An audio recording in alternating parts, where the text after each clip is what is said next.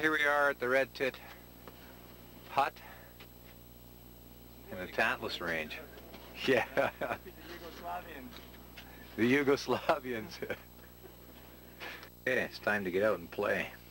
So we're going to head out on the glacier, do some glacial travel, do companion crevasse rescue, and group organized rescue. But we come back here, have a quick bite, and then move on to the afternoon stuff.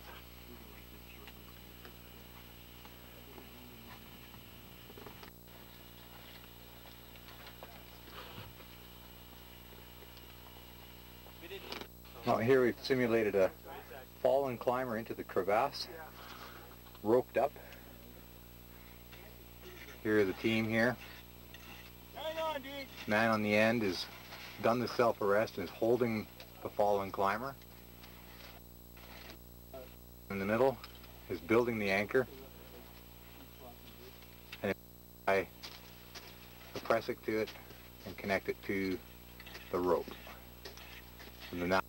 Climber that is going in the hole, enabling the man on the end to stand up, come down, assist with the rescue. So we have a team of three on one line, and two on this line. Tricky part here is this fellow here has to do self-arrest, hold the climber, as well as build the anchor at the same time.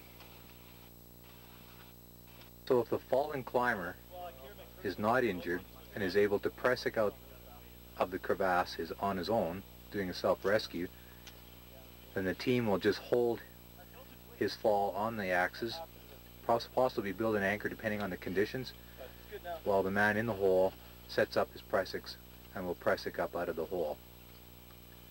If the man is injured or unable to prusik out, then the team above will have to set up a pulley system and deal with evac the man out of the crevasse.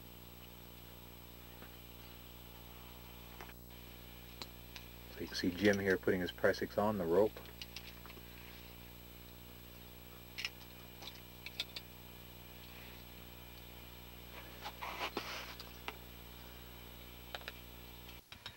Here's a T-slot being put in using the ice axe. Putting the snow in on top, packing it down so the axe will not move. His main anchor, or first anchor, was a vertical picket, or snow bar. That took the fallen climber, and now he's adding in a second anchor, which will be the bomb-proof anchor, connecting it to the system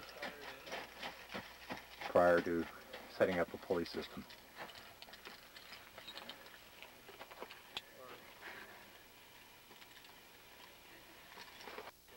Alright, so they just transferred the weight onto the anchor. John has gotten up off the snow. Mike has built the anchors, checked it to be sure that the anchors are holding. Let's put in, let's put in another one. And I'll, you put in another one and I'll go down and check Jim. Yes! Jim was able to prusik up the rope so he wasn't hurt and the team was able to hold him, he would actually work himself out of the hole, which is a lot quicker than setting up a big pulley system.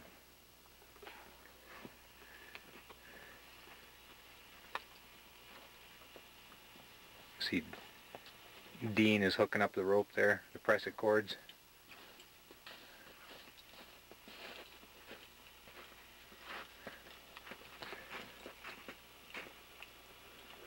So Nick here has finished building his anchors, came down on a prusik on the rope, self-belaying himself, checked out to see how his partner in the hole is doing. He's unable to climb out, so now he's going to have to hook up a pulley system. Take this, this uh, carabiner and clip it into your belay we're rappel loop. We're probably going to drop a loop to you. You see his padding on the lip of the crevasse here, preventing the rope from cutting down into the snow. He has dropped down a pulley and a carabiner, Somewhere, yeah, I want it right which is what we call a drop loop. Good man. Okay.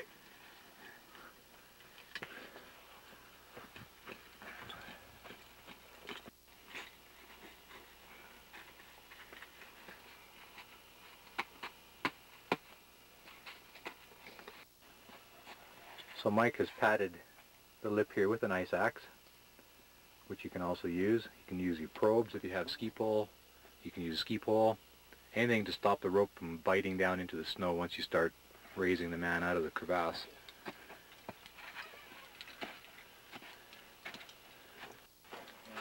So Nick has the, got himself sorted here and looking good. He has moved his anchor point down a little lower to give him more rope to work with. So he's got a pulley on there. He's got a pulley on the man in the hole. Okay? And here he's got another carabiner acting as a pulley on a prusik on the line. Okay, hang tough here, buddy. Here we go. That pulley is a prusik minding pulley. He has a prusik on there as a backup. Right. So what you can do is you can you can put a pressure in one end of that. If you want. These guys, all they done was put a drop loop down on Jim and then basically just hauling him up using their strength. Now I'm asking for an extra mechanical advantage in here, simulating that Jim is much heavier and these guys can't pull him up the way they are. Here Nick is adding a mechanical advantage.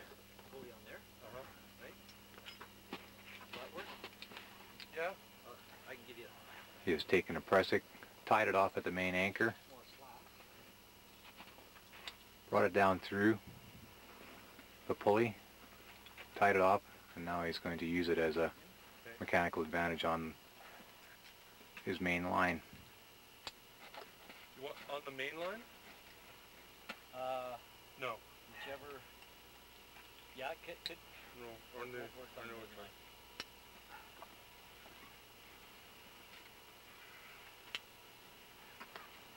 This would be.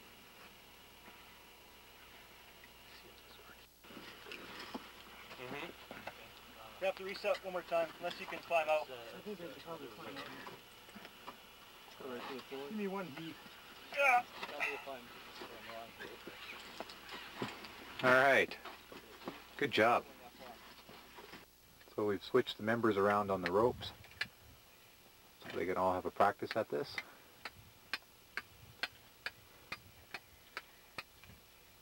Now they're building their anchors after they've done the self-arrest. So you can you can just be you can just pull with the prusik then. Except I need this anchored then, because otherwise, Yeah, no, I have you on a ratchet here. I have you on belay. what I'm saying is, if I, if I'm gonna be pulling this and dropping to him, right? Yeah. That's all. Okay, so this is good here. Um, Tim was suggesting that we do it the other way around, so